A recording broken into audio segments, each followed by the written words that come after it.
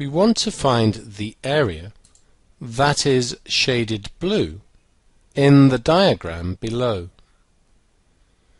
We can see the diagram here. We have a large blue rectangle with two holes removed. One hole is a square and the other a rectangle.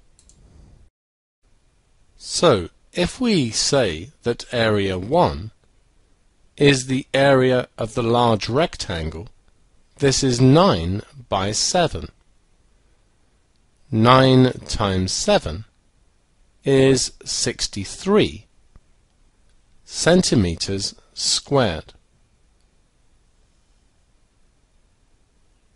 The second area we'll say is this square. Area 2 is going to be 2 times 2, which is 4 centimeters squared. Area 3 is the rectangle. The rectangle is 4 by 1, so the area is going to be 4 times 1, which is 4 centimeters squared. The area is going to be this area, take away the two holes.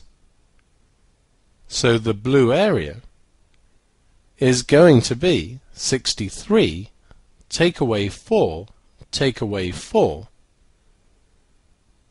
and calculating this gives us 55 centimeters squared.